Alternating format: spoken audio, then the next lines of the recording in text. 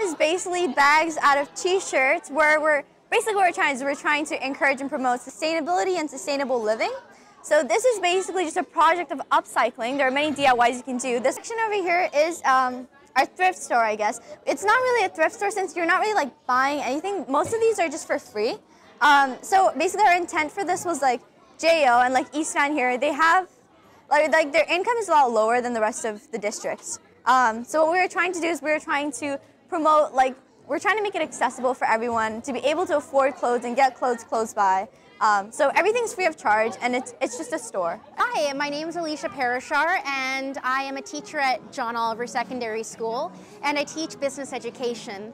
Uh, one thing we're trying to work on in the business education department uh, is ways to be, be more sustainable. Uh, so, you know, we talk to the kids about, you know, starting a business, selling products, but in 2020 we thought, let's just focus on sustainability in business and um, that's what I'm passionate about.